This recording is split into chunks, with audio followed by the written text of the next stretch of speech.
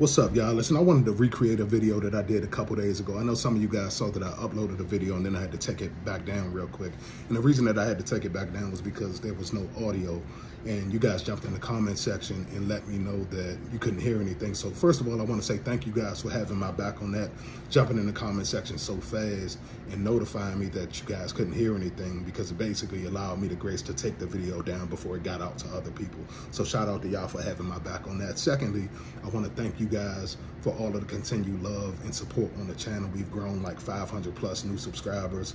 The view count and everything is going up. I appreciate each and every last one of y'all for just continuing to show love and support to the channel, man. Um, to all of my day ones, y'all already know what it is. Love you guys. And basically the reason that I wanted to recreate this video was because I felt like there was a lot of golden nuggets and there was a lot of good information in that video. And I was a little bit upset because I felt like there's no way for me to recapture everything that I said in that video. But I do feel like I remember en enough about it to where I can at least hit the hot points and things like that. And you guys can still get the gist of what I'm saying. So basically what that video was about was changing your per per perception after the discard and basically changing the lenses that you're viewing the narcissist in. And one of the things that I said in that last video was you have to, it's almost like a, your, your spiritual prescription has changed. So the lenses that you're looking at the narcissist through is no longer going to work for your eyes. You know what I'm saying? It's it's no it's no longer going to work for your life. It's no longer going to fit your situation. So, first of all, I want to say to all of you guys that are able to go no contact, but you're looking back on the situation and you think that the narcissist is living this great life and all of that kind of stuff, like, please take the blessing and the lesson and move on with your life. You know what I'm saying? Because these, the stuff that you're seeing, the, the perception that they're painting isn't the truth. You know what I'm saying? Like even after the discard, everything is still a lie. You know what I'm saying? So I wanted to give you guys a little bit, like a couple of examples or at least one example of what I mean by that. So check this out. Well, first of all, before I even go, go into that, I was, I was making a point. So those of you guys that are able to go no contact, that have been able to go no contact, it's actually a flex in that situation. You don't have any ties with this person. So you literally can take your lesson as a blessing and move on with your life and, you know, kind of understand a little bit better about how to move in your next relationships and things like that. Now, on the flip side, for those of you guys who are tied to the narcissist in any type of capacity, whether it's children, whether it's marriage, whether it's um, you work with them, whether it's a business venture, whatever the case may be, there's some beauty in, in both sides of it. So just because you're stuck with this person and you're tied to this person does not mean um, that there's not some something to gain out of it. And one of the things that I'll say people that are stuck with the narcissist after the discard and after they, you know, do the things that they do is we have a little bit more insight as to what's really going on.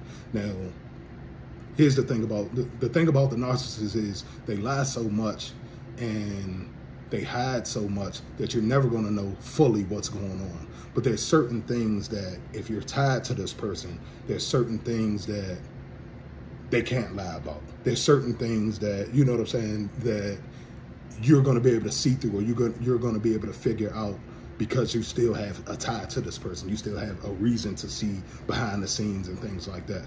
So for those of you guys who are stuck with the person, now you can kind of see what's really going on behind the scenes. You can kind of um, attest to what's going on behind the scenes and, and, help some of the other people who don't get a chance. So basically what I'm saying, it's, it's easy to deceive someone when you don't have to see them, when you don't have to be around them anymore, when basically the only thing that this person can see of you is the things that you're putting out there. But when you are tied to a person, there's no way to hide everything. You know what I'm saying? So for those of you guys that have been able to go no contact, you're not going to be able to see anything except for what they're showing you. But for those of you guys that are stuck in the situation with the narcissist, you're going to be able to see some of the lies right, like unfold right out in front of you. And what I mean by that is like, here's an example of what I mean by that. Um, in my personal situation, after the discard came, the hoovering got so bad. Now, now I don't encourage anybody to do what I did in the situation, but I had my reasons for doing everything that I did. So um, basically what ended up happening was after the discard came, the hoovering got so bad that I was going to leave everything alone. I was going to leave, you know, well enough alone. And I did for years. I didn't say anything. I didn't bring up anything that the narcissist had done to me for years to the public, other than, you know, other than the YouTube channel. But that was still kind of like a private thing. You know what I'm saying? It was like me kind of sharing my story. My channel was really small. It, so it was, you know, in my family, my friends, I don't, I don't share my videos to any other platform. So, um, it was still kind of like a private thing to me. So I didn't like expose the narcissist in that way to, you know, my friends on social media, you know, as far as like Facebook and Instagram and all of that kind of stuff for like three years. But what ended up happening was I felt like I needed to protect myself because the hoovering got so bad. It was like I was, you know, being stalked real heavy to the point where I was getting new friend requests and, you know, new, uh, it was so much stuff going on behind the scenes, but I felt like I had to kind of protect myself a little bit. So I ended up exposing the narcissist a little bit on social media and kind of telling bits and pieces of some of the things that I had endured.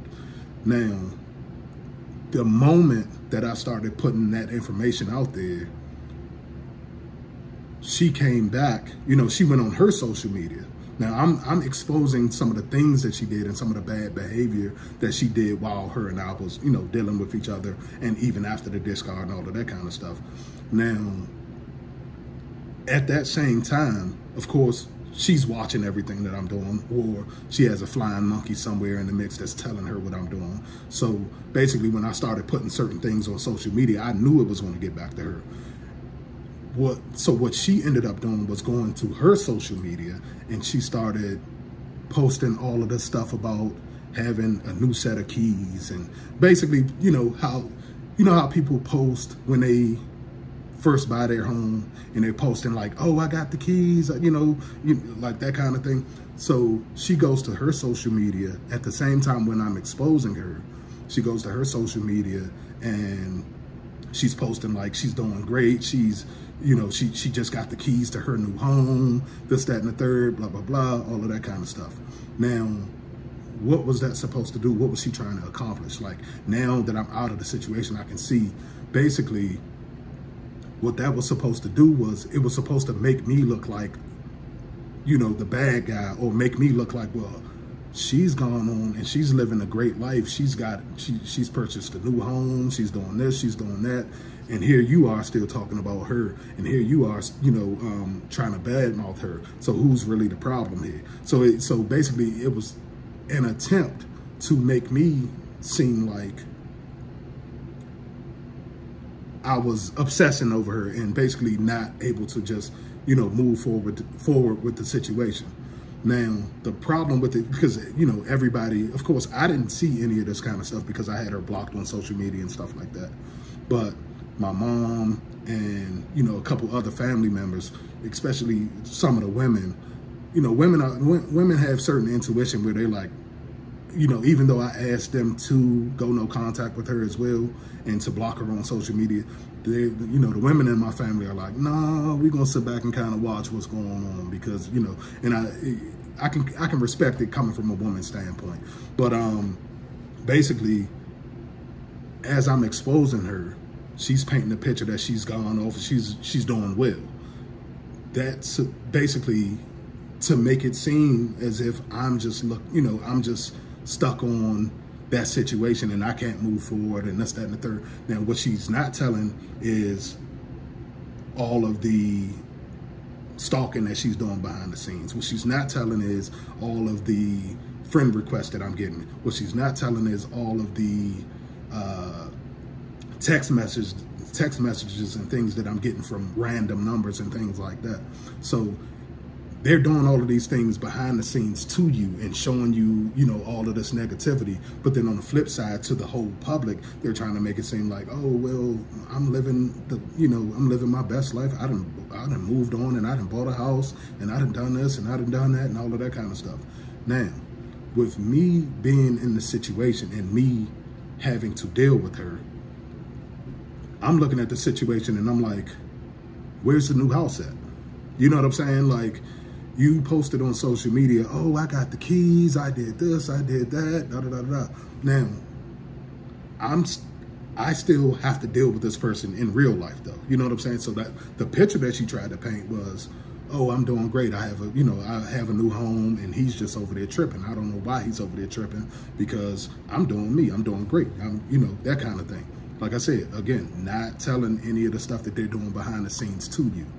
So what ended up happening was my mom and everybody kind of contacted me and they're like, oh, um, you know, she just posted that she she just bought a house and she just, you know, she you know she got the keys and this, that, and the third.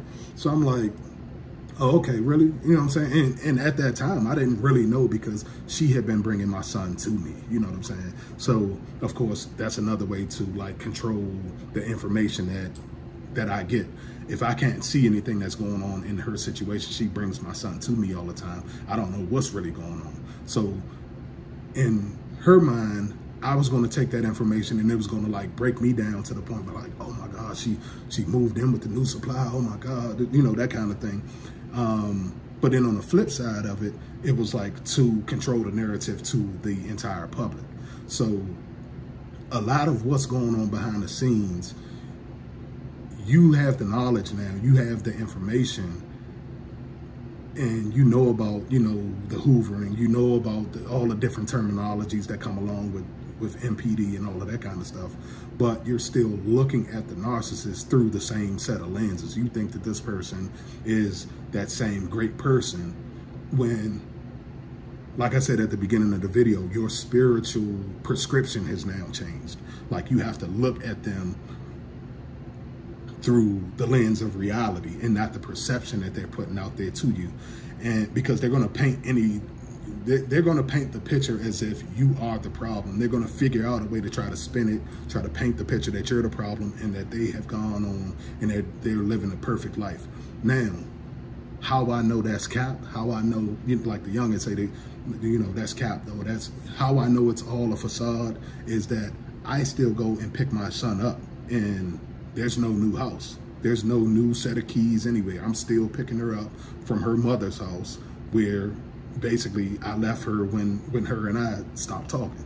So where is where is the new house? Where is the new the, all of this new stuff that you know she's trying to paint the picture and make it seem as if she's doing better than what she really is in life.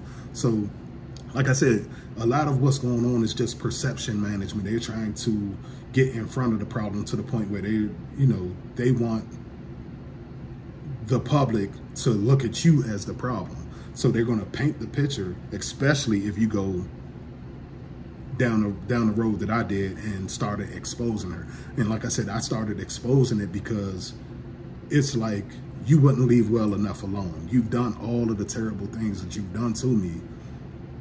And I didn't say anything about it. I left it alone. I tried to continue to move on with my life. And even after me trying to move on with my life, you're still taking shots in the dark. Like you're still taking shots behind the scenes and it's put me into a position where now I'm feeling like I have to defend myself because I, I have been quiet the whole time. I haven't brought up any of the stuff that you did. Basically, like three years went past. My son, you know, was three years old, and then before I even thought about putting out, you know, exposing her in any type of way. And like I said, the reason that I did was because she just wouldn't stop. She wouldn't leave well enough alone. I'm the type of person that if you cross me, but you, you know what I'm saying? You leave it alone and I'm able to get over the situation. I'm not going to keep coming for you. It is what it is. But she continued to come for me. You know what I'm saying? And because she continued to come for me, I was, that's when I started kind of like trying to defend myself. But in me defending myself, I had to expose a lot of the behavior and a lot of stuff that was going on behind the scenes. Like I said, she was using that story of her having a new home and to basically, I guess, trick me into believing that her and the new supply had moved on, and they have they, they have all of these. You know, she, she's basically living this wonderful life with the new supply and all of that kind of stuff. I'm looking at the situation in reality though, and I'm like, where's the new house? Because I'm picking, I'm picking, I'm picking our son up from the same house that you've been in the entire time. I haven't seen, you know, I haven't seen any, when did you move out? When did, you know, that kind of thing. It's like, like, be real with the situation. You know what I'm saying? So basically, a lot of the stuff that you're seeing behind the scenes is just perception management. They are trying to make it look good to the entire public, not just you. You know what I'm saying? They're trying to look good for everybody. So me personally, if I was still emotionally invested into that situation, I would have taken that like, oh damn, you know, she didn't she she didn't moved on like that. She didn't got a new place with a new supply, and I would have been like driving myself crazy because I would have been so hurt and so you know distraught about her moving in with the with the new supply and all of that kind of stuff. And then the fact that my son, you know, my son would have been involved in whatever moves she she makes or whatever the case may be. So it's all a way to con control the narrative. It's all a way to control your perception. And so when you get the knowledge and when you get the understanding, you literally have to change. Like I said, your, your, your spiritual prescription has changed to the point where the glasses, the lenses that you're looking at them will no longer fit your life. It's no longer going to like the story's not going to line up no more. You know what I'm saying? The things that you saw about this person where you thought this person was a great person and this, that, and the third, you have to look at them through a different set of lenses. Like, um, matter of fact, this is, you know what I'm saying? I'm glad I got my other pair of glasses right. Like right now, I have these these set of frames on. Before the discard, I was looking at her through, through these set of frames. You know what I'm saying? After the discard and after I got the knowledge and everything, basically these these glasses no longer work anymore. You know what I'm saying? I, I I'm not able to see her in the same light that I did before I got all of the information and I got all of the education on NPD. So basically now I have a new set of frames. I got to throw these on and look at her now. You know what I'm saying? I got to throw these on and see her for what she really is. Now I now I can see clearly like these my prescription was going bad. You know what I'm saying? Like basically my, my, my prescription was going bad and I couldn't see, you know, everything that I needed to see. But now I went and got my eye exam. Basically, it's like you went through a spiritual eye exam. You know what I'm saying? You went through a spiritual eye exam and now your lenses have changed and now your focus, the way that you see this person has completely changed. You know what I'm saying? So I just wanted to drop that on in y'all lap real quick because a lot of you guys get caught up in the perception and in the picture that they're painting instead of seeing what's really in reality and what's really going on. And I know some of you guys can't see what's really going on because they do a very good job of like hiding everything and they do it, especially if you don't have any ties with them. But if you have ties with them, you'll be able to see through the lies and stuff like that. So I just wanted to drop that in y'all lap, man. I will be back, you know, it, it, you know, to show y'all some love real soon hopefully uh, this evening I'll drop another video. But basically, I just wanted to drop this video and just let you guys know you have to change how you looking at the whole situation. They're not doing as great as they portray themselves to be. So that's my video, y'all. I'll tap in with y'all later.